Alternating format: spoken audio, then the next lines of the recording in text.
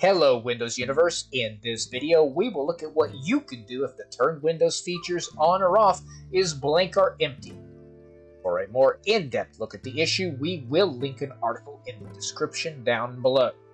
Run the SFC and DISM. Open an elevated command prompt.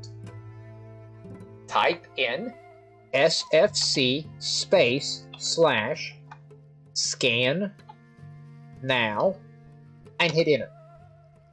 This scan will take a few minutes.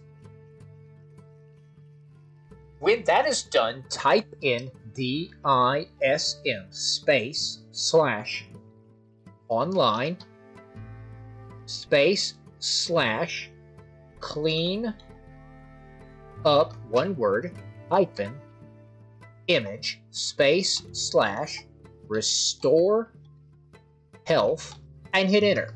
Depending on the level of corruption, the scan may take 15 minutes or more. Once it is done, type in exit, hit enter, restart your system, and see if the problem has been resolved. Try restarting the Windows Module Installer service. Type services into the search menu. Look for Windows Module Installer. Make sure that it is running and it is set to automatic. If it is not, set it to automatic.